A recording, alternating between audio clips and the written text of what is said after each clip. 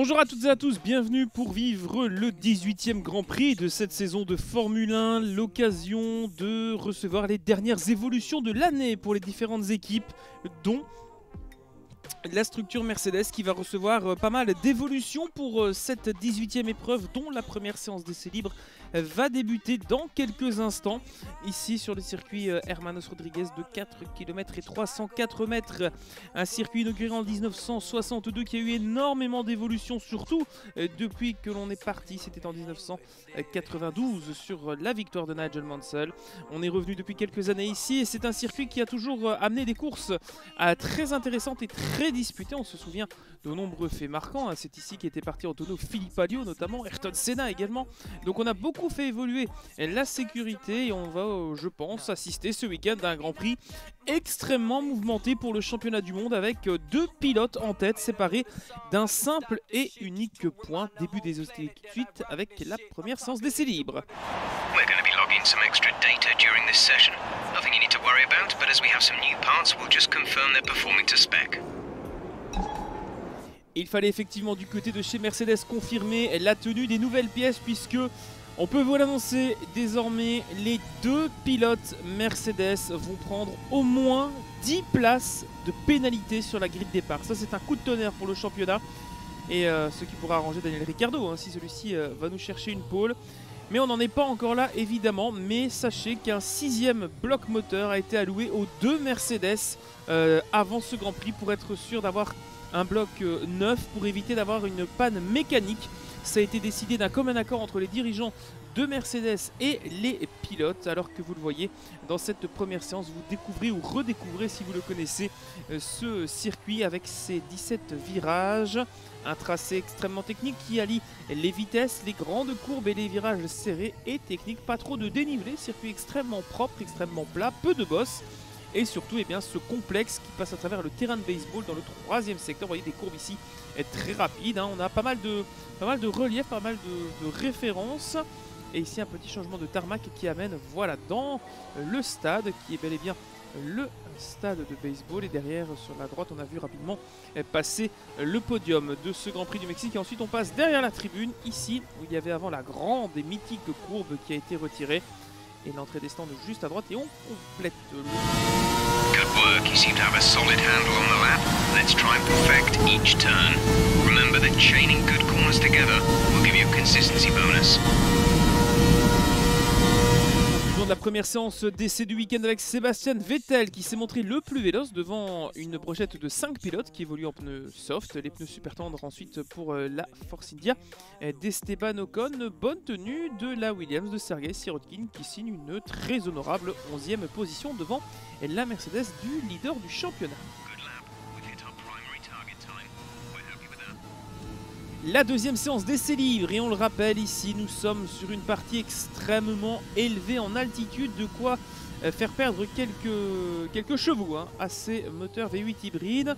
Et ce circuit donc euh, dans cette deuxième séance qui est pour la première fois vraiment entouré de, soleil hein, qui s'est fait plutôt discret depuis le début du week-end mais il est sorti depuis euh, la période du temps de midi sur ce deuxième moment d'essai alloué au Formule 1 et ça va permettre à certains de sortir. C'est le cas du pilote belge.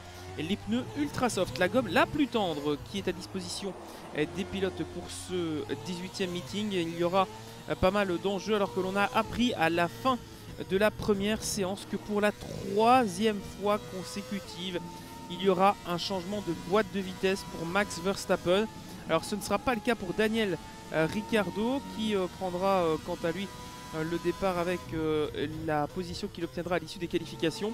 Euh, malgré son abandon au Grand Prix du, Japon, on a réussi à sauver la boîte du pilote australien. Par contre, on a de, mauvaises nouvelles pour Verstappen qui dégringole au fur et à mesure des séances qualificatives. Vous le voyez, le grip reste approximatif sur ce circuit.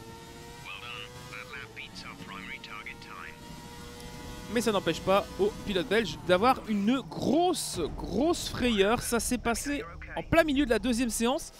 Et on apprendra en fait qu'une suspension a cassé à l'arrière gauche. Il y a une partie du triangle qui s'est fissurée. Et ça a précipité la fin de la séance du pilote Mercedes, heureusement sans gravité. Et surtout, la voiture ne pourra pas repartir pour la troisième séance d'essai libre. On passe donc directement au résumé des qualifications le samedi après-midi. Samedi matin, pas de temps donc, je le disais, pour la Mercedes du leader du championnat. Et la confirmation qu'il y aura donc une pénalité pour les deux Mercedes, mais aussi pour d'autres pilotes. Et pas des moindres, puisque Sébastien Vettel se verra lui aussi pénalisé à l'issue de la qualification. On y reviendra évidemment en prémisse du Grand Prix demain. Pour l'instant, vous voyez les pilotes qui se préparent à partir à l'assaut d'un circuit qui sera ensoleillé. Hein. Pas de pluie ce week-end et ça fera du bien euh, puisque ça fait quelques meetings que nous sommes poursuivis par les gouttes d'eau et que cela a déjà pas mal chamboulé les hostilités à plusieurs reprises. Dans cette euh, première séance qualificative, on vous le rappelle, on n'a pas pu suivre les séances du côté euh, du Japon et des États-Unis. Cette fois-ci, c'est corrigé avec euh, dans cette séance en Q1 18 minutes pour être le plus rapide. On arrive très vite dans la première chicane. On va parler un petit peu de ce circuit. Hein. Dans cette première séance, la première zone DRS est devant les stands, la deuxième la voici, elle est assez courte, mais elle peut peut-être permettre au pilote de se rapprocher, mais pas vraiment de, porter une attaque ici. Deuxième blocage de roue, vous voyez qu'on attaque très très fort dans cette séance. Il faut monter les pneus en température, ça n'est pas toujours très très simple en début de séance. On sait qu'il faut deux tours à ces Pirelli Ultra Soft pour se mettre dans de bonnes conditions. Ici, un enchaînement de virages rapide, alors que Vettel en une 18-7 est pour l'instant le titulaire du meilleur temps provisoire dans cette Q1. Il faut se hisser parmi les 15 premiers pour être éligible à la Q2. Et on va retrouver le dernier partiel après cet enchaînement de courbes qui était d'ailleurs euh, battu. Un record du deuxième partiel pour la Mercedes. Magnussen reprend la pole pour dire que l'on peut améliorer, même si les As sont vraiment l'une des bonnes surprises avec McLaren cette saison. L'équipe américaine qui a quand même mis ses deux voitures euh, dans les points lors du Grand Prix à domicile il y a 15 jours. Allez, dernière accélération dans cette Q1 pour la Mercedes. Et cela sera une pole position provisoire, en tout cas le meilleur temps dans cette première séance pour les deux Mercedes qui se hissent dans le deuxième segment de cette qualification. On notera la perte de Stoffel Van Dorn et de Lance Stroll. Et je peux vous dire qu'il y a des pilotes qui vont gagner quelques positions malgré tout, notamment Sergei Sirotkin qui a réussi à se hisser en Q2 avec la Williams. Ça devient des, petits exploits hein, avec cette voiture qui euh, on vous le disait encore aux États-Unis lorsque l'une des monoplaces s'arrêtait en bord de piste, qui a beaucoup, beaucoup, beaucoup de difficultés à tenir euh, la mesure des voitures qui l'entouraient en début de saison, à savoir notamment les Sauber Alfa Romeo et surtout les Toro Rosso qui euh, ont pris quand même un petit peu plus de poil de la bête au fur et à mesure des Grands Prix, surtout pendant la phase européenne. Ici, on va arriver sur euh, trois Grands Prix qui vont être sans doute un peu plus à la faveur de Red Bull et de Mercedes. Un Ferrari n'aura sans doute plus beaucoup euh, de chance de se mettre en avant, mais, mais, restons quand même vigilants, même si on sait très bien qu'ici au Mexique, ce sera le moteur Mercedes qui va dominer. On attend des bonnes performances d'ailleurs des deux Force d'Esteban Ocon et eh bien, du héros local, hein, Sergio Perez. C'est vrai que depuis la perte d'Esteban Gutiérrez de l'équipe Haas, eh bien, euh, il n'y a plus qu'un seul représentant euh, mexicain. Sergio Perez, on ne n'est pas non plus la première saison en Formule 1. Il a évolué chez Sauber Ferrari avant de passer chez McLaren et ensuite trouver refuge chez Force India. Le passage des pilotes Mercedes nous offre les deux meilleurs temps de cette saison.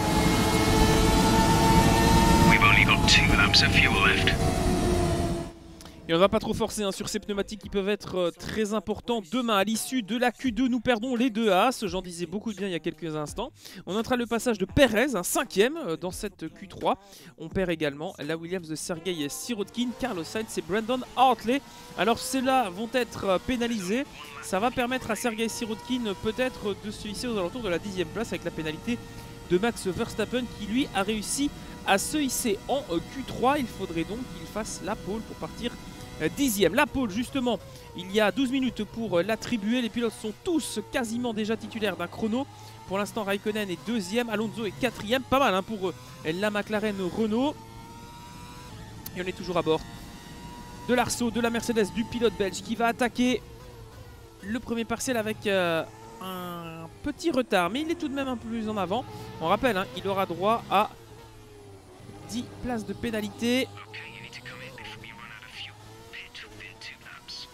On rappelle effectivement qu'il faudra rentrer au stand pour cette Mercedes avant la fin de ces deux runs.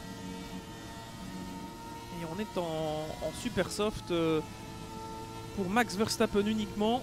Tous les autres sont en ultra soft. Il revient d'ailleurs sur la voiture de, Perez.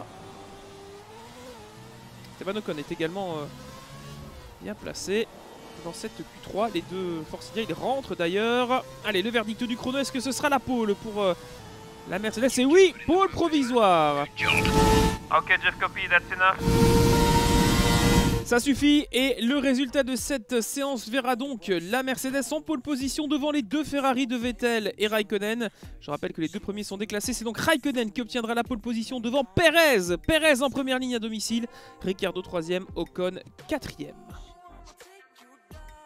L'ambiance est chaude, bouillante dans le stade de baseball pour le départ de ce Grand Prix du Mexique avec un Mexicain en première ligne. Sergio Perez a déjoué tous les pronostics avec beaucoup d'aide bien sûr puisqu'il y a eu de nombreux pilotes pénalisés. Ils sont 5 à avoir pris un déclassement. Max Verstappen, ça fait 3 Grands Prix de suite que le pilote néerlandais prend une pénalité.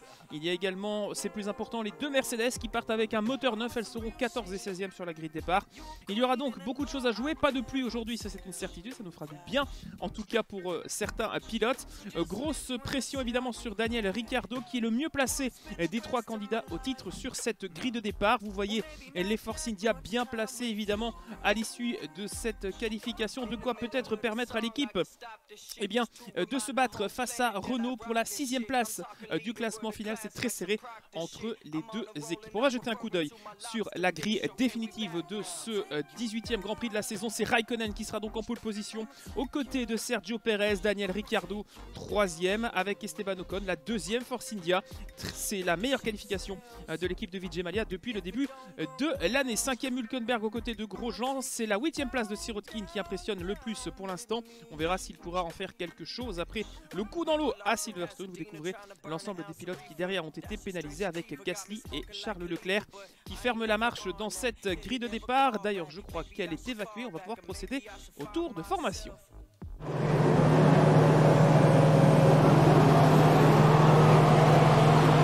Et sous le commandement du Finlandais Kimi Raikkonen, les voitures quittent leur emplacement sur euh, la grille de départ. Début du tour de formation de ce Grand Prix du Mexique avec, euh, il faut quand même le notifier, aucune Mercedes dans le top 10. On va faire un point évidemment comme on l'a fait il y a quelques secondes sur euh, les pénalités. Et finalement c'est donc bien 15 places hein, qui ont été affligées au pilote belge et 10 à Hamilton. Ça fait très très mal hein, quand on calcule un petit peu les places perdues. Mais euh, en tout cas, ce qui est sûr, c'est que les deux leaders du championnat vont devoir remonter face à Daniel Ricciardo qui a tout en main pour peut-être remettre 25 points euh, dans l'escarcelle avant euh, le Grand Prix du Brésil et pourquoi pas totalement à son tour relancer ses chances comme ça a été le cas pour Hamilton lors du Grand Prix du Cota à Austin au Texas il y a de cela 15 jours. On jette à, nouveau un oeil, si vous le voulez bien, comme à chaque tour de formation sur euh, les performances de chaque pilote par rapport à ses équipiers lors des qualifications. Et bien, une nouvelle fois, euh, pas franchement euh, d'inversion dans la tendance, hein, surtout du côté de chez Ferrari. C'est Lance Stroll qui fait un très bon pas depuis la fin de la campagne européenne. Il remonte un petit peu par rapport à son coéquipier. Au niveau des pénalités, on les a expliquées en long et en large, mais c'est quand même intéressant de voir que chez Mercedes, par peur simplement euh, de politique, de vouloir entendre un pilote avantagé par rapport à un autre en fin de saison, avoir décidé de changer les deux blocs moteurs euh, des voitures, c'est quand même une décision euh, surprenante, sachant qu'au niveau du classement constructeur, Mercedes est à 501 unités et que Ferrari, troisième, est à 330 entre deux. Il y a Red Bull 362. Un petit point également sur les cinq derniers vainqueurs de la saison avec donc Daniel Ricciardo qui s'était imposé en Italie, hein, au final d'un tour euh, très disputé avec Raikkonen notamment. Et puis Hamilton qui a remporté les trois derniers Grands Prix, ce qui lui a permis de se remettre dans la course au titre. Allez, les premières voitures sont sur la grille. On va jeter un, coup d'œil tout particulier, une attention toute particulière à Sergio Perez qui va partir sur la première ligne. On est debout devant moi, les tribunes sont pleines. Le départ du 18e Grand Prix de la saison, c'est dans un instant à l'extinction des feux. C'est parti, on roule à Mexico avec euh, un très bon départ de la part de la Renault qui a bien réussi à s'extraire tout comme la Red Bull et on va se retrouver à 4 de front, voire 5 même. C'est ici la particularité de cette grande ligne droite. Il va y avoir beaucoup de changements de position et ça va être Ocon qui va virer en tête, attention et non Ce sera sans doute Ricciardo avec Perez. Non, Perez est en tête à la Force India du héros local qui est en tête devant Ricardo. Code 3 Raikkonen qui n'a pas pu tirer profit de sa pole position. Les deux As sont côte à côte avec Nico Hülkenberg qui a l'avantage. Oh, il va falloir encore attendre quelques virages pour que tout cela se mette en place. Mais quel départ de Perez C'est la première fois cette saison qu'une Force India mène un grand prix à la régulière, en tout cas au départ.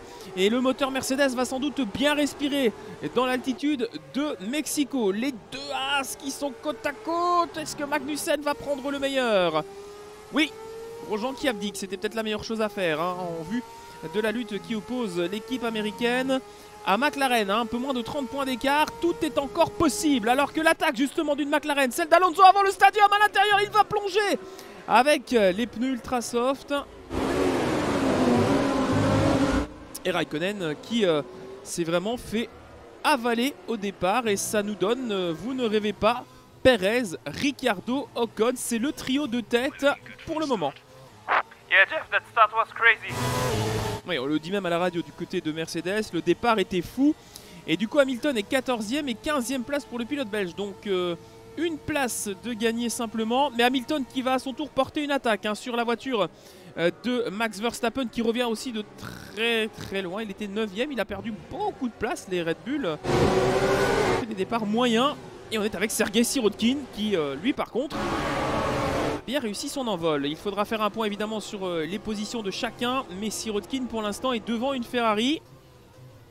Et on retrouve le pilote belge à la bagarre. Il va passer Verstappen. Il reste proche de son coéquipier. Ça va être sans doute toute l'intensité, tout le nerf de la guerre de cette ultime partie de, championnat. Rester collés l'un à l'autre, calquer les stratégies sans risquer de voir Ricardo revenir. En tout cas, pour l'instant, les Mercedes n'ont pas de points. Statu quo au championnat. Seul Ricardo fait la bonne affaire avec, euh, pour l'instant, les 18 points de la deuxième place. Le prochain sur la liste des Mercedes, ce sera euh, Brandon Hartley, le néo-zélandais. Hamilton qui ne perd pas une seconde et qui plonge. Et est-ce que non son son équipier a pu en faire autant? Je pense que la Mercedes est également passée derrière. Il se retrouve derrière ou pas? oui, il est passé aussi, on l'a pas vu. Et donc les deux Mercedes qui gagnent chacune une position dans ce tour. Et donc euh, devant, on retrouve bien les deux McLaren, les deux Haas et les deux Force India dans le top 10. L'attaque de Sébastien Vettel sur Sergei Sirotkin au nez à la barbe de Lewis Hamilton qui va peut-être en profiter pour passer le pilote russe. Ça n'est pas terminé, côte à côte, les deux voitures en pneus ultra soft, vous le voyez. Et finalement Hamilton qui profite de son châssis et de peut-être l'évolution de son moteur par rapport au bloc client disposé dans la, dans la Williams pour prendre le meilleur. Et ça n'est pas encore le cas de son équipier derrière. Est-ce qu'on va plonger? Oui, et Sirotkin est battu. Sirotkin qui est battu. Mais ça s'est joué à peu de choses. Magnussen, avec qui l'on revit le départ de ce Grand Prix.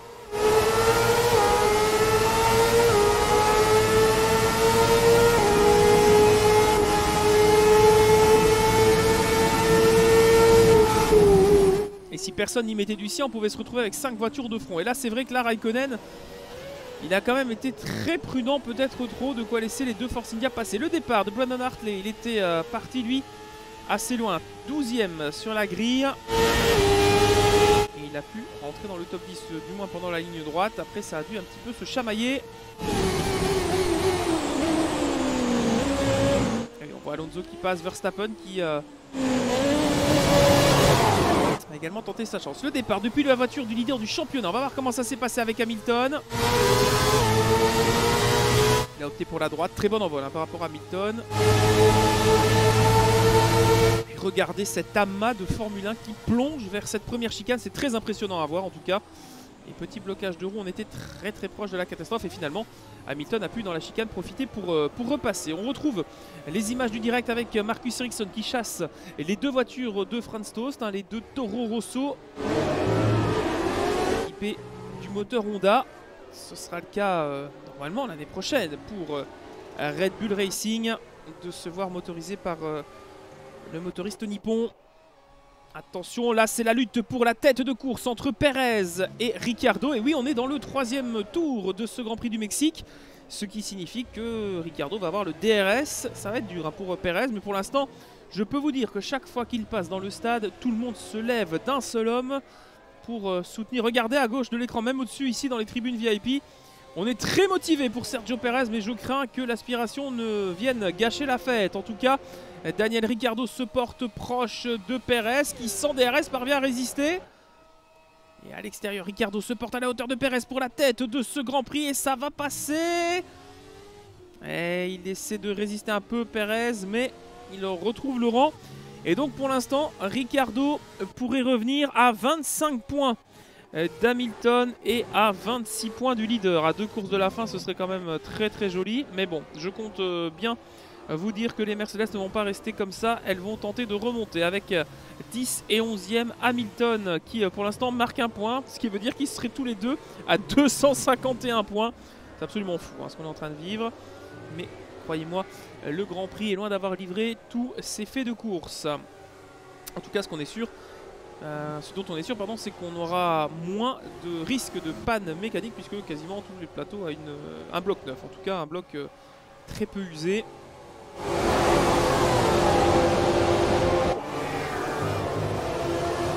Et on voit l'évolution derrière Stoffel Van Dorn qui est le prochain de la liste, on va l'appeler comme ça. Hein.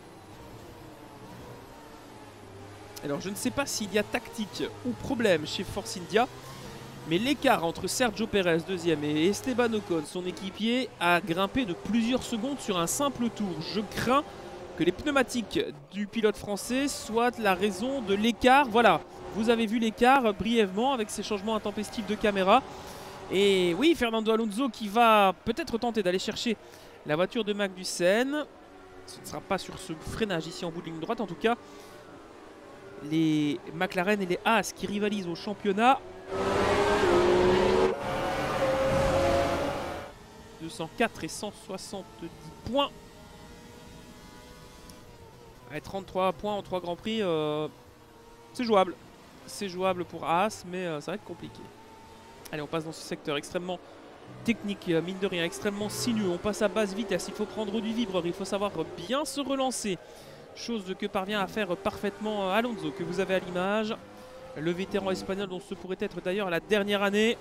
On revient sur Hamilton qui est juste derrière l'équipier d'Alonso. Il chasse Stoffel Van qui a résisté au moins un tour. Hein. Il aura eu ce mérite-là aujourd'hui.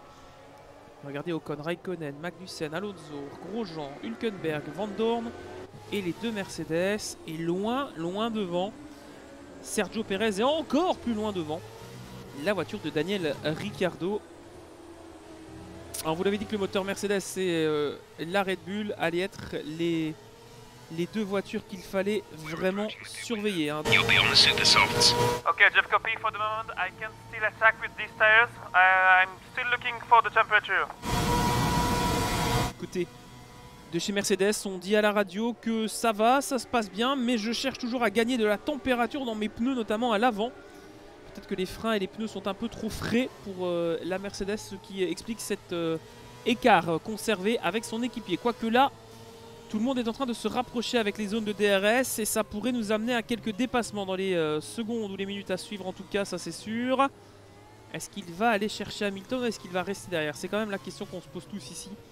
Est-ce qu'il va prendre l'avantage sur Hamilton ou est-ce qu'il va rester vraiment dans son sillage et profiter et le laisser euh, prendre les risques de faire le sale boulot comme on dit? Et juste derrière, hein, le pilote euh, Mercedes, on voit le retour de Max Verstappen.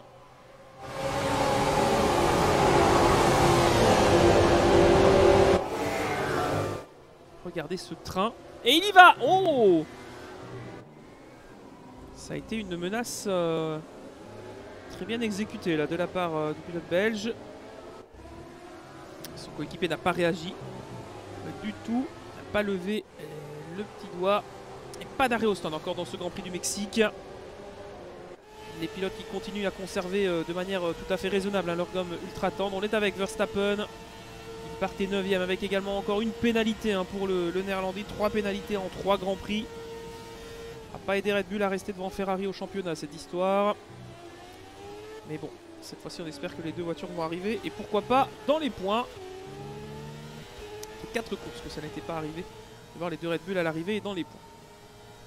On retourne pendant quelques instants caméra embarquée sur l'arceau de la Mercedes que l'on quitte pour voir. Oh là là, Raikkonen qui se fait attaquer par euh, Magnussen. Non, c'est l'inverse, pardon. C'est Raikkonen qui va aller attaquer Magnussen. Et regardez l'écart devant, incroyable. Perez qui fiche le camp.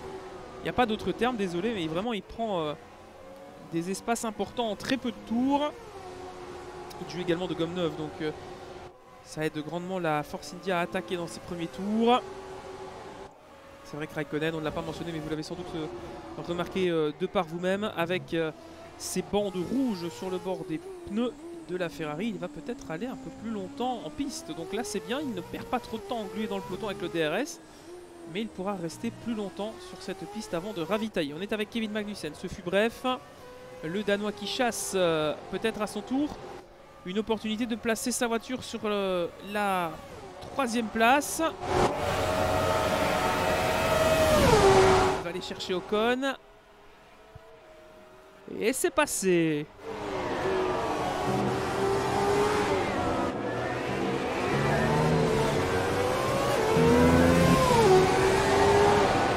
On a également vu derrière la Renault qui s'est portée euh, de Sainz à la hauteur de la voiture de Stoffel Van et qui est passée.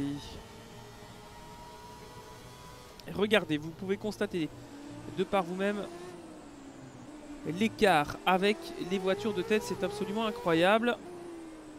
Alors ici la pit lane n'est pas forcément la plus longue, l'entrée fait perdre très peu de temps également, donc euh, au niveau des stratégies des arrêts, euh, Pirelli nous a conseillé, en tout cas nous a ramené une stratégie à deux arrêts avec un relais en ultra, un relais en super et un relais en soft. Ça c'est vraiment la théorie pure et dure. Certains disaient qu'on pouvait peut-être faire même deux relais en, ultra soft et un relais en, soft. Alors qu'on a les premiers appels à la radio euh, pour euh, justement les stratégies. On va peut-être les découvrir. 9 tour, ça fait à peu près partie de ce à quoi on s'attendait. On attendait un, arrêt pour le, le dixième tour pour les premiers pilotes qui ont beaucoup tourné en qualif. Est-ce qu'on va déjà avoir des arrêts ce tour-ci Effectivement, il y a une Renault qui rentre, c'est celle de l'Allemand Nico Hülkenberg qui était devant les deux Mercedes et ça n'est pas le seul puisque il y a également la Force India de Sergio Perez qui est passé par la case stand et on remet des pneus super tendres. Donc pour l'instant, la stratégie à deux arrêts avec les trois pneus tiendrait, euh, tiendrait la route. En tout cas, c'est un jeu de mots assez facile, mais ça tiendrait bien la route. On est avec la Mercedes et le DRS toujours. On voit qu'Hamilton n'est vraiment pas loin de la McLaren Renault. L'attaque pourrait être imminente et Perez qui en rentrant au stand laisse vraiment Ricciardo seul au monde devant tout le monde.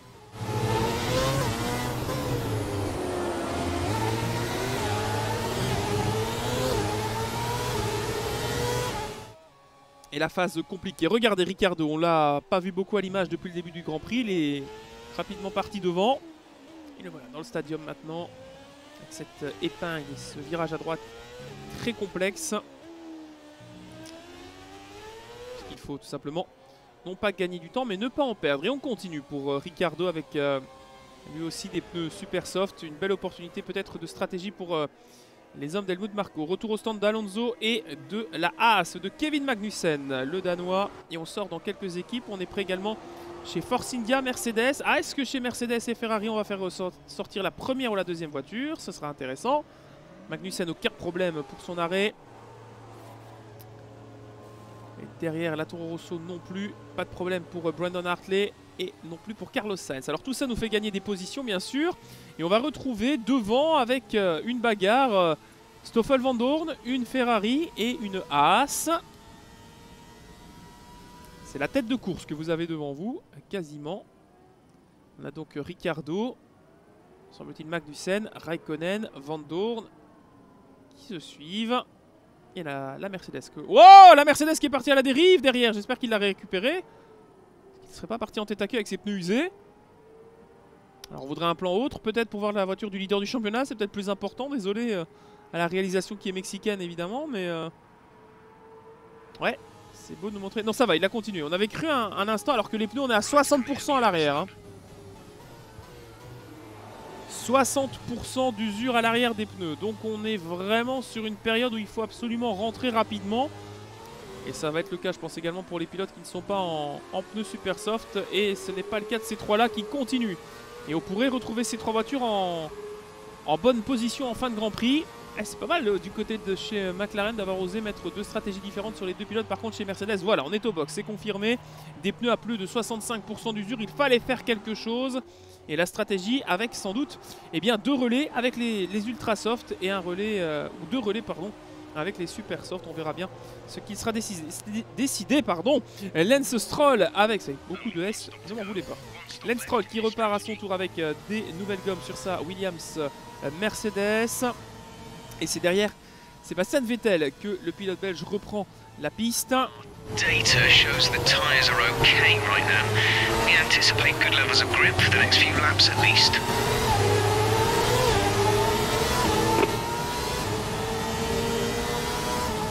Kimi is in P3. The difference is 5.7 seconds. They're on old super softs. We think they've got two stops remaining. The time last lap was a 1 minute 22.6. vous avez vu que ça barde entre Brandon Hartley et la Ferrari et Daniel Ricciardo qui, comme Grosjean, Raikkonen et Van on continue et on ne s'arrête pas. Les gommes tiennent, alors pourquoi stopper? On a quand même quatre voitures différentes aux quatre premières places. Un moteur Renault, un moteur Ferrari, un deuxième moteur Ferrari, un deuxième moteur Renault. Quand on vous a dit que les moteurs Mercedes étaient à leur avantage ici, Là, ça nous fait un petit peu mentir. En tout cas, c'est sans doute dû à la stratégie, bien entendu, puisque cela ont 20 secondes de moins passées euh, dans les stands arrêtés que les autres. Et Romain Grosjean, deuxième au Japon, hein, on l'a pas oublié, derrière euh, Lewis Hamilton, qui est pour l'instant en train de récidiver. On va bientôt l'appeler euh, Raymond Poulidor, si ça continue. Lui qui aime cueillir les deuxièmes places. Il l'avait fait également en Angleterre, un Grand Prix extrêmement pluvieux. On l'avait vu un peu plus discret. Hein du côté de Spa, mais euh, belle, performance également pour l'équipe de Jean Haas. Alors qu'on retourne en caméra embarquée avec euh, le leader du championnat, jusque-là, c'est toujours le cas. Mais où est Lewis Hamilton? Parce qu'il y a eu à mon avis un petit décalage chez Mercedes. Et le leader qui continue de dérouler sans trop attaquer, c'est peut-être la bonne solution. Va-t-il opter pour un arrêt? Pas encore. Ouais, on, peut, on peut aller loin avec ces gommes-là. Je pense que effectivement, avoir opté pour euh, des super soft en qualification hier aurait pu euh, être moins avantageux, mais là, il y a vraiment quelque chose à, gagner. On est avec euh, la voiture qui est en 16e position, ce qui signifie pas de points. Il se retrouve derrière, derrière Vettel et devant Brandon Hartley. Et Hamilton, il est devant tout ce beau monde. hein. Hamilton, lui, il est avec toujours ses ultra soft. hein. Il n'a pas encore ravitaillé.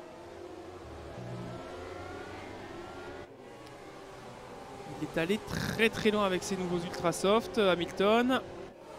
Et on vous indique déjà d'ailleurs que vous pouvez voter aussi vous-même pour votre euh, pilote du jour, le driver of the day. Pour l'instant, euh, Sergio Perez semble avoir euh, la même mise sur euh, cette compétition puisque regardez, il est en train de se défendre face à Verstappen, à, à Ericsson. Et ici, c'est Magnussen qui à son tour après Grosjean euh, porte un petit peu euh, préjudice à la, à la balade de Lewis Hamilton. On est derrière hein, pour euh, le pilote belge.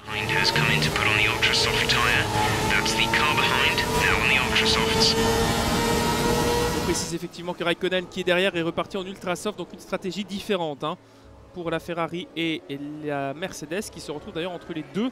Euh, Ferrari, c'est assez drôle de voir que le jeu des stratégies décalées provoque ce genre de, de classement. Et on rappelle, hein, le driver of the day, toujours disponible dans la description. Alors, est-ce que ça peut passer? On sait qu'il y a un contentieux entre les deux hommes depuis le, le, Grand Prix d'Austin. Oh, il va plonger à l'intérieur. Dive bomb de la Mercedes. Ça peut peut-être passer, non?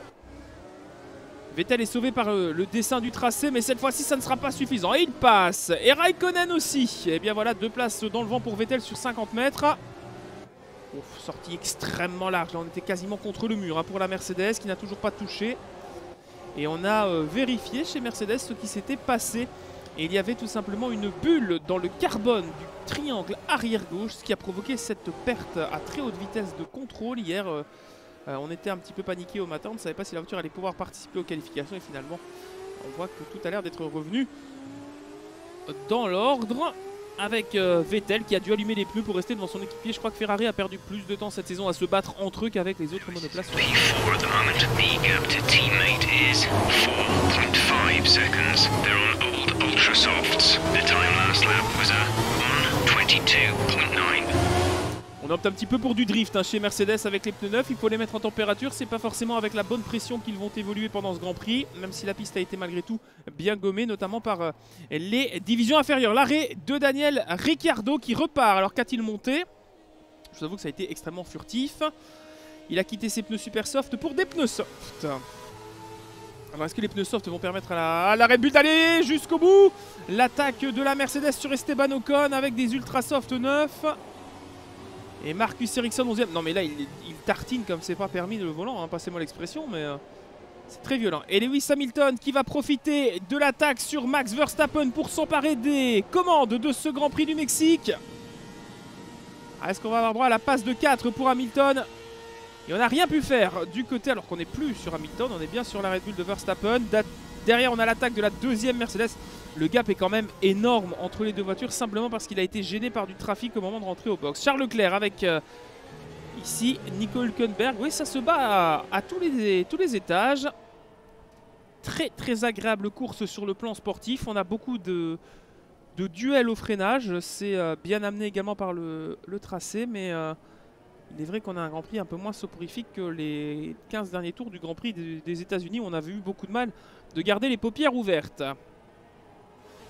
Focus sur la Renault de Nico Hülkenberg. Retour en caméra embarquée avec euh, toujours les images du direct, bien sûr. Pas d'abandon dans ce Grand Prix après 16 tours couverts sur les 36 à parcourir.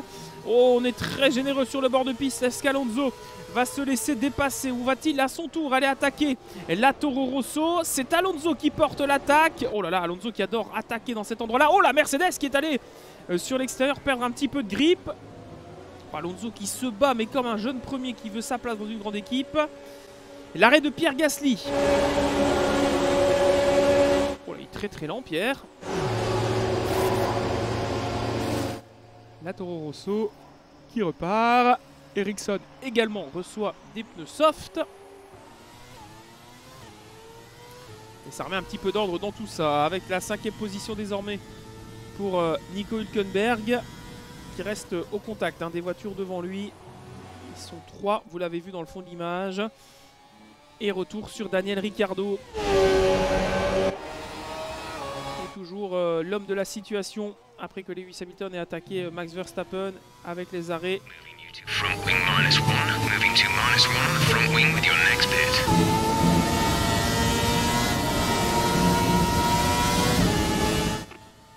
Et je crois qu'on a demandé un ajustement d'aileron avant du côté de chez Mercedes. On voudrait peut-être un peu moins de grip.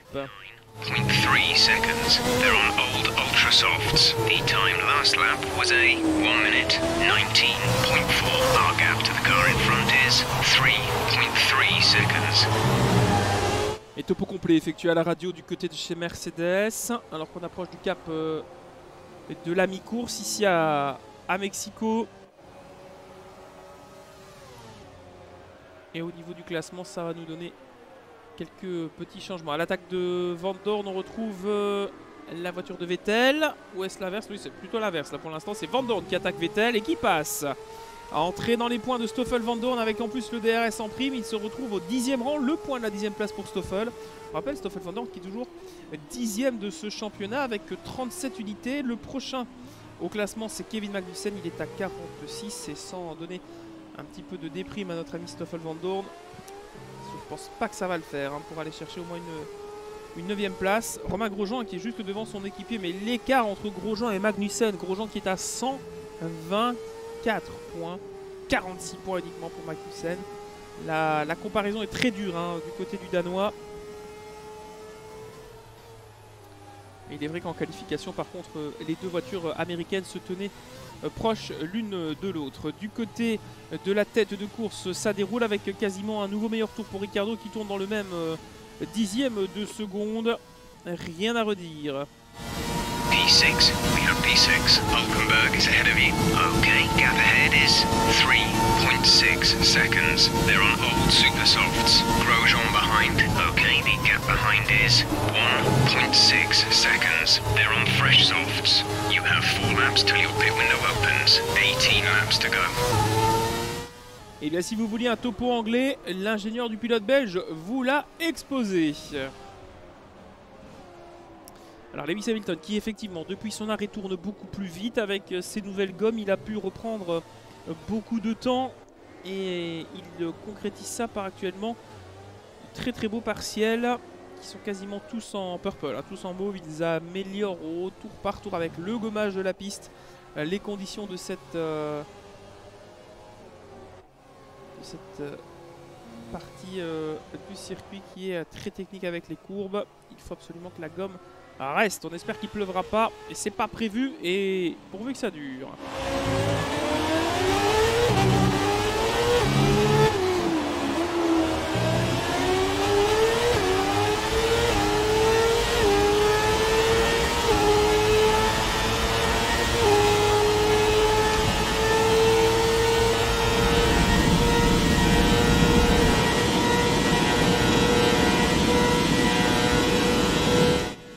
La magnifique attaque au freinage de Nico Hülkenberg. Est-ce qu'il va pouvoir compléter ce dépassement dont on vous a laissé profiter du son de CV8 hybride? Et c'est passé Dépassement très scolaire de la part d'Hülkenberg, mais force est de constater que ça fonctionne sur Perez qui euh, dégringole un petit peu. Il n'est plus en tête hein, comme il l'a été au moment du départ. Il est pour l'instant tout de même en cinquième position avec des super softs qui n'iront pas au bout, ça c'est certain. Mais euh, une stratégie intéressante de la part euh, de l'équipe de, de Vijay Malia.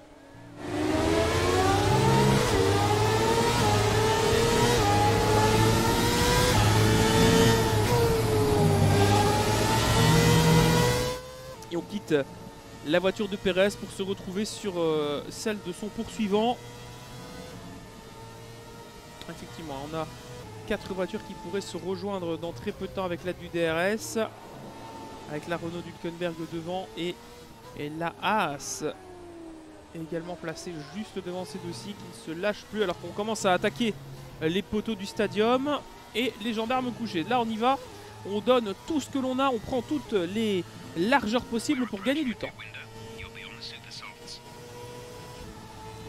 Et effectivement, la théorie qui euh, circule un petit peu depuis quelques minutes se confirme avec euh, oh là, un changement de ligne qui était plus qu'incertain de la part du pilote euh, mexicain. Il failli avoir un drame sur la piste. En tout cas, ce que je voulais vous évoquer, c'est qu'effectivement, du côté des monoplaces, il va y avoir pas mal de changements l'année prochaine.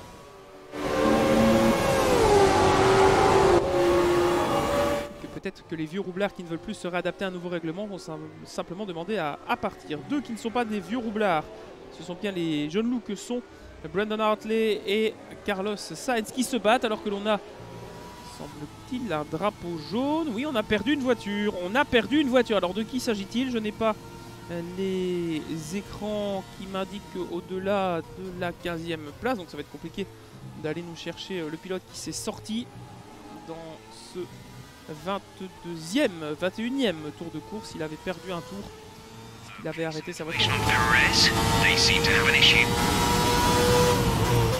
Oh non Non, non, non, non Ce serait pas Sergio Perez qui est en train de ralentir. Effectivement, il a perdu 4 secondes dans le premier partiel. Oh, ce sera absolument dramatique pour le l'immense et le formidable public mexicain que leur héros s'arrête ici, à la maison. On espère que Perez va pouvoir résoudre un petit peu le souci. Les deux McLaren qui s'expliquent avec euh, Van Dorn et Alonso. Avantage pour l'instant au pilote espagnol, mais on est dans les points pour les deux voitures. Et je crois que Zach Brown va s'atteler à ne pas laisser, comme peut-être on a pu le voir il y a quelques, quelques Grands Prix, euh, se battre les Ferrari. Allez, les consignes qui vont sans doute tomber. En tout cas, Alonso est moins rapide que Stoffel. Ça, c'est une certitude. Est-ce que Stoffel aura tout simplement le feu vert pour aller attaquer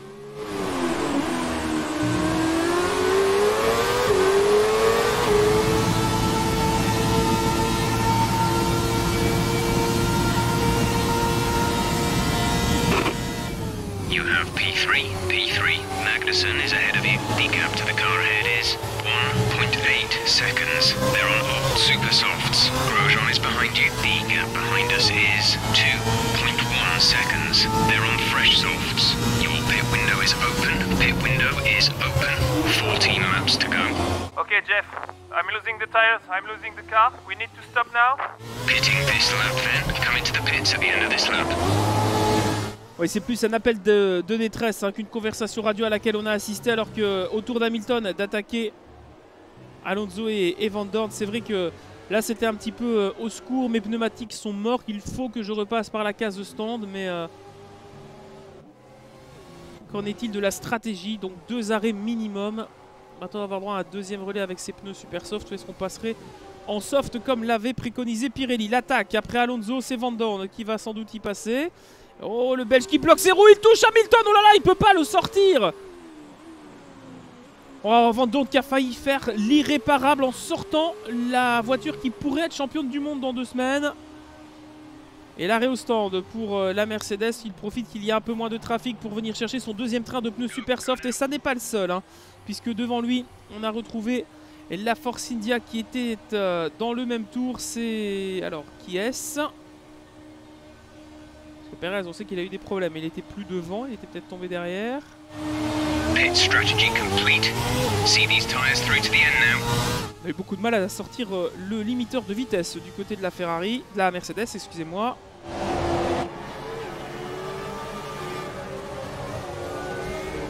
Assez intéressant euh, ce Grand Prix du Mexique, alors qu'on vous propose, comme d'habitude, les euh, pilotes qui ont remporté le Grand Prix du Mexique. Et on se souviendra évidemment que de notre côté, un certain Jacques X avait remporté cette course en 1970. Trois victoires pour euh, Jim Clark, le Britannique. Un autre Britannique le suit. Deux succès pour Nigel Mansell, dont le dernier d'ailleurs sur l'ancien circuit ici en 92, je vous le disais en introduction de la séance d'essai libre. Pas 13 et une victoire ici pour l'Italien, qui a d'ailleurs pris le volant récemment d'une Acura Honda NSX au 24 ans de Spa-Francorchamps, terminant je crois 32e si ma mémoire ne me fait pas défaut. Et ensuite Taylor, un succès.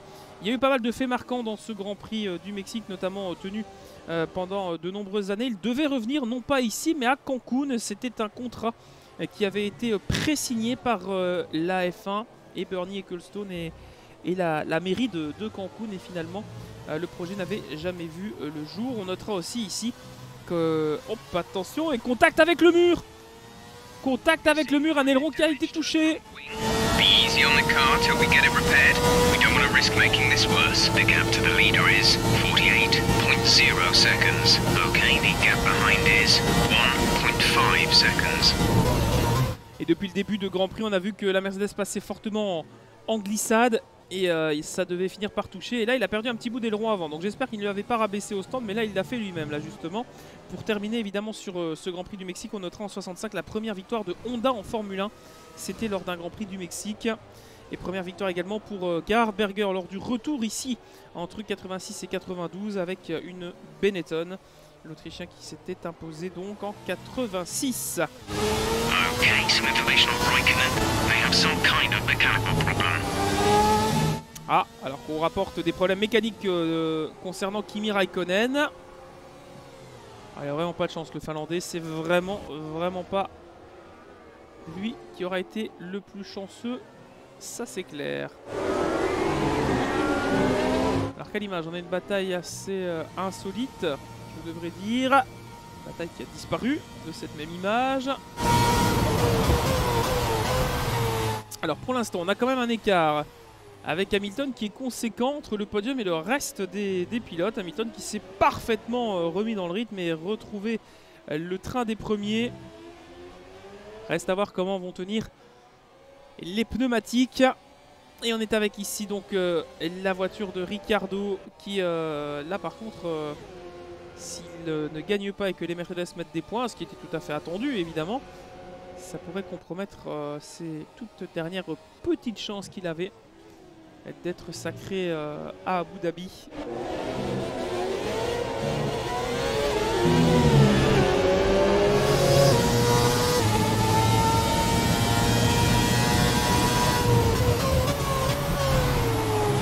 Nouveau passage dans le stade, il reste exactement 10 tours, 10 tours de course pour l'ensemble des voitures. Ça va faire euh, sans doute euh, rentrer encore quelques pilotes qui ne sont pas chaussés en pneus soft ou en super soft. Ont opté pour une stratégie avec deux stints en ultra. Dites-vous que l'année prochaine, si vous n'en avez pas assez, il y aura les softs. Histoire de s'y retrouver un peu plus. hein. Merci la FIA et merci à Pirelli. En tout cas, on peut réviser nos couleurs et ça, c'est une bonne chose. Nouveau blocage de roue, c'est pas le premier ce ne sera sans doute pas le dernier du week-end dans ce virage. La chasse a, a été ouverte hein, du côté de chez Mercedes avec euh, la deuxième place d'Hamilton, la tête de course pour euh, le moment qui vaut très cher.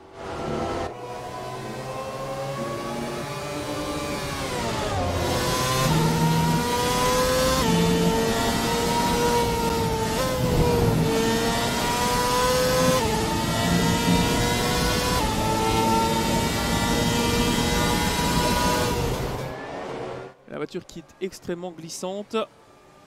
C'est survireuse, hein, évidemment.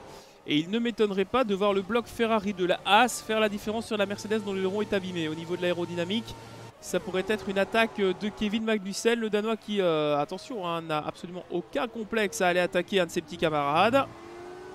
Allez demander à Nico Hülkenberg, il en a de très bons souvenirs, des, compliments qui avaient volé dans le carré euh, des interviews.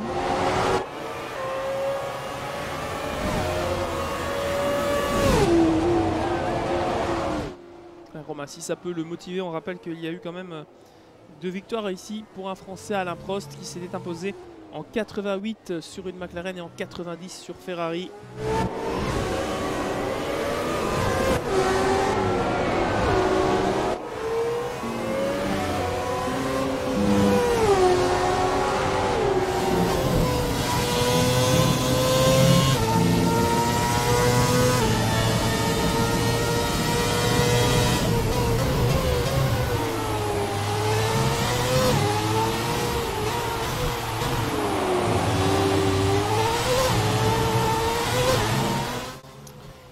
Qui est quand même assez loin hein, par rapport euh, au reste euh, des pilotes. Le voici, il y a quand même une ligne droite entière d'écart entre Romain Grosjean et euh, son poursuivant.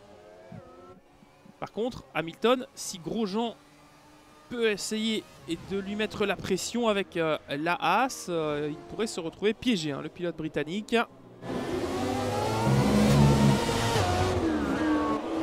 Vous rappelle évidemment que vous pouvez, comme à chaque Grand Prix, voter pour votre pilote du jour, votre driver of the day. Et vous découvrez en dessous de chaque Grand Prix celui qui a été élu lors de l'épreuve précédente avec les résultats qui vous sont postés. Bien évidemment, et Ricardo qui poursuit sa marche quasiment triomphale hein, pour le moment ici au Mexique.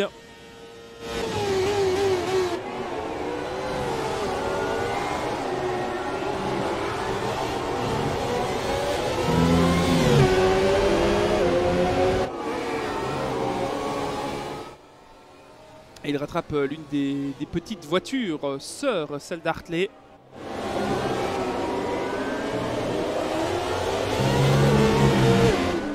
Hartley qui d'ailleurs a fait un peu remonter euh, la cote de confiance de ses patrons envers euh, ses performances depuis euh, quelques grands prix, malgré euh, des difficultés. Les pilotes euh, continuent à tenter de se faire valoir. Alors qu'ici on va avoir Alonso qui va porter une attaque au DRS et qui va avoir absolument toutes les facilités pour aller chercher la Mercedes, quoique. Le bloc allemand est résistant, il se retrouve côte à côte à plus de 330 km/h. Alors qu'on a un drapeau jaune agité par un commissaire dans le premier secteur, effectivement, on me rapporte également sur mes écrans qu'il y aurait un souci sur la piste au premier virage, mais qu'il aurait été résorbé. Donc sans doute un problème extérieur à une voiture.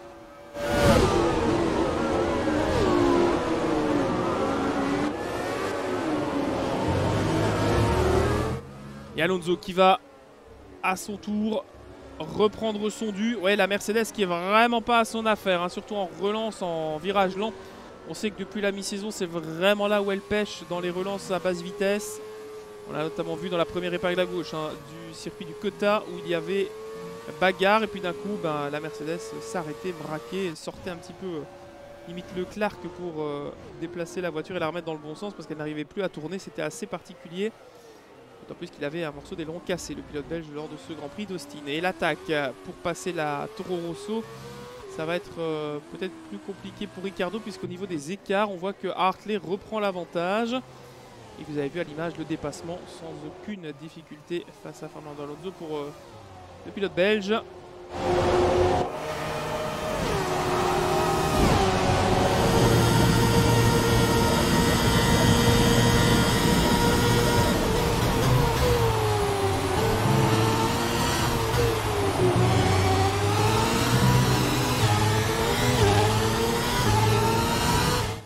Allez, il reste 6 tours de course dans ce Grand Prix du Mexique. On vous laisse vraiment profiter du son de ces moteurs parce que ici, vraiment, la performance est impressionnante quand on est quasiment au rupteur en 6ème, 7ème, 8ème pour aller chercher vraiment toute la quintessence du moteur avec l'hybridation jusqu'au bout pour être à 330, 340 pour les meilleurs, véritablement au bout de la ligne droite.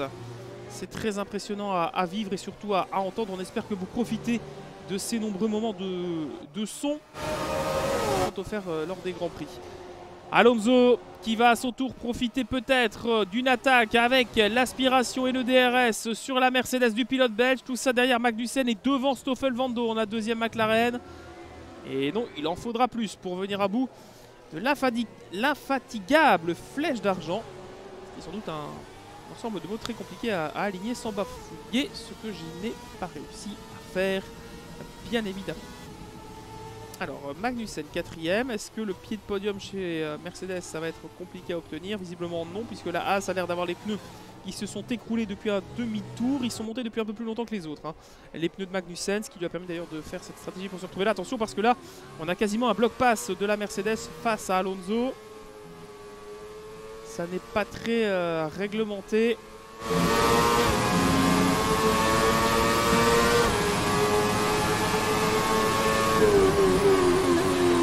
Et Alonso qui va tenter sa chance pour aller chercher la voiture du pilote belge. Coup de roue entre les deux monoplaces en plein milieu du stade de baseball devant tous les supporters mexicains. Et finalement, il restera devant la monoplace de l'Espagnol. Qui a d'ailleurs perdu du temps. Je pense même que oui, Stoffel Van Dorn est repassé devant son équipier. Et les deux McLaren se sont échangés les positions à 4 tours de l'arrivée. Ah, lutte intéressante là pour euh, les points au niveau constructeur. McLaren qui pourrait mettre également deux voitures dans le top 10. C'est intéressant hein, de voir euh, ce que peut amener la fin de cette course pour le championnat constructeur. L'attaque sur Magnussen, oh, c'est un peu prématuré. Euh, le contact avec la Haas et la Mercedes. On n'est pas passé loin de la correctionnelle du côté du leader du championnat. L'attaque à l'extérieur cette fois-ci sur le freinage. Il se porte à la hauteur de la Haas. Est-ce qu'il peut compléter le dépassement Ça semble fait. Hop, un petit peu large par rapport au vibreur. Mais la Mercedes hérite du pied de podium et empêche ainsi les As de faire 3 et 4 pour le moment. Puisque Grosjean a chuté au troisième rang général de ce Grand Prix. Allez, il reste peut-être une quinzaine de kilomètres dans cette épreuve. Et Kevin Magnussen qui est donc chassé maintenant par les deux McLaren, Stoffel Van Dorn en tête. On retrouve derrière la deuxième Force hein, qui revient également très très fort.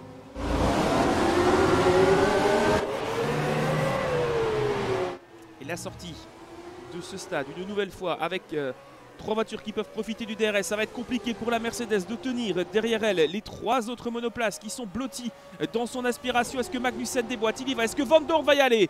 Ah, peut-être les trois voitures qui se déportent sur la partie droite de la piste. Alonso continue en pleine ligne droite et ça pourrait être l'Espagnol qui en profite. Et Magnussen reprend sa, oh, sa position. Il y a eu contact une nouvelle fois. Et il a dû se contenter euh, de rester derrière. Mais regardez le petit train qui est en train de se former derrière avec le retour de la Red Bull, de la Ferrari qui pourrait aussi euh, se joindre à ce, ce quintet qui est presque gagnant pour le moment. Mais euh, oh les attaques sur les vibreurs très très très incisifs. Le comportement de la, de la Mercedes. Il va rester euh, un tour à ses pilotes pour euh, vraiment décider de la fin de ce 18e Grand Prix de la saison. Et on voit ici la voiture euh, qui se remet quand même d'une stratégie plutôt bien élaborée, celle de Daniel Ricciardo. Pour l'instant, est en, est en bonne voie pour bien finir sa saison si euh, la fiabilité mécanique est au rendez-vous. Ricardo qui fait partie évidemment euh, des grands malchanceux de la saison. Il était troisième sur la grille de départ, le pilote mexicain. Sergio Perez à ses côtés, qui lui a eu aussi euh, une course difficile, même s'il a mené. Nouvelle euh, explication dans le texte derrière entre eux, Magnussen et Van Dorn. Et la Mercedes qui parvient à s'échapper dans cette avant-dernière boucle. Ça devrait le faire au niveau du carburant pour euh, la voiture euh, du leader du championnat. Et Van Dorn qui va passer. Stoffel Van Dorn avec les Ultrasoft qui est bien passé aux côtés de Magnussen dans le deuxième partiel. Va-t-il être devant dans le troisième Sous le regard attentif d'Alonso qui veut plonger pour lui aussi rejoindre son équipier. Et Van Dorn est passé. Et c'est très important pour la lutte McLaren-Haas au niveau du championnat constructeur. On rappelle, on l'a déjà dit euh, à plusieurs reprises, les deux équipes 4 et 5e. Avec à peu près 30 points d'écart, euh, Haas pourrait euh, perdre tout espoir si Van Dorn et Alonso terminaient euh, devant Magnussen. Même si Grosjean devant est en train de faire un énorme travail. hein. Une nouvelle fois, le Français qui va euh, marquer les esprits dans ce Grand Prix du Mexique qui aura été marqué par peu d'abandon et de faits de course. Et on confirme au pilote belge qu'il va rentrer dans son dernier tour avec euh, derrière lui 6 candidats au pied du podium. Devant Romain Grosjean est assuré de terminer troisième derrière Hamilton et Ricciardo. Et on est avec Charles Leclerc ici avec euh, la bagarre face à Brandon Hartley. On est au-delà des points évidemment mais euh, la lutte fait toujours rage même à ce niveau-là dans le peloton. Dernier tour pour eux également maintenant. Et on va accueillir, voilà, Daniel Ricciardo qui va remporter ce Grand Prix du Mexique. Victoire de l'Australien et de sa Red Bull. Dernier virage. Il sort maintenant de la grande courbe. Voilà, victoire au Mexique de Daniel Ricciardo qui remporte le Grand Prix du Mexique. Succès incroyable pour Red Bull Racing. Très belle stratégie, très belle gestion. La deuxième position pour Lewis Hamilton qui va donc se retrouver euh, désormais à deux grands prix de la fin, euh, plus proche que jamais de son coéquipier. On va faire un point évidemment euh, sur les écarts entre Hamilton et le pilote belge Hamilton qui va officiellement voilà, reprendre la tête de ce championnat. Pour la première fois depuis quelques Grands Prix, nous avons Hamilton en tête. Troisième position, formidable performance de Romain Grosjean. Sixième sur la grille. Gestion parfaite euh, des hommes de Gene Haas. Troisième place pour Romain Grosjean. Et on attend le dernier tour des autres. P2. So the gap to our teammate is 33.6 seconds. They're on super softs. The time last lap was a 119.8. Gap to 22.7 seconds. Et vous avez un petit peu une idée des écarts qui euh, séparent les trois voitures de tête du reste euh, des euh, voitures de chasse qui arrivent seulement maintenant. Oh là là, dans le troisième parcelle, oui, les pneus sont peut-être un peu usés là pour la, Mercedes. Et est-ce que Van Dorn pourrait aller chercher une quatrième place? Ce serait son meilleur succès de la saison au volant d'une McLaren Renault. Je pense pas que Dorn ait l'opportunité de passer. Vous le voyez, les cotillons qui sont déjà en train de- d'envahir le stade alors que la course n'est pas terminée. J'espère que le vent n'amènera pas ça dans les pontons et, et les radiateurs. Allez, c'est terminé euh, pour euh, la Mercedes qui termine quatrième et Van Dorn cinquième devant. Okay, we're all a bit gutted with that result, but let's work hard and we'll get it together for the next race. Uh, we've lost some points today, but uh, we finished on the top five, and from where we start, it's a good, a good result, I think. Thanks, everyone. Et c'est vrai qu'en partant en 14 et euh, 16e place, les Mercedes ont fait très très fort avec euh, une deuxième et une, une quatrième position, alors que Daniel Ricciardo va profiter d'un succès bien mérité. Au niveau du championnat, euh, ça ne relance pas forcément tous les espoirs euh, du pilote australien.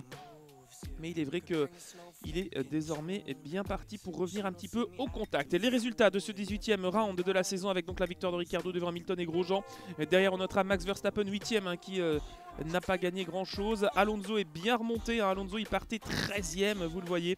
Et euh, quand même Raikkonen 10e alors qu'il était en pôle. Et Esteban Ocon est également euh, très très loin. Au niveau des résultats, il y a donc encore 50 points à prendre, ce qui signifie que mathématiquement, ils sont encore 3 à pouvoir prétendre à la couronne mondiale de cette saison 2018. Pour la première fois depuis de nombreux week-ends de Grand Prix, c'est un Britannique qui mène le classement général. Lewis Hamilton a donc repris les rênes de ce championnat. Deux Grands Prix de la fin. Il reste deux courses, le Brésil et Abu Dhabi. Qui sera titré? On vous donne rendez-vous évidemment sur le circuit d'Interlagos pour en connaître la réponse. Et je peux vous dire que ça risque d'être extrêmement disputé. Ne manquez pas le Grand Prix du Brésil et Abu Dhabi. Merci beaucoup.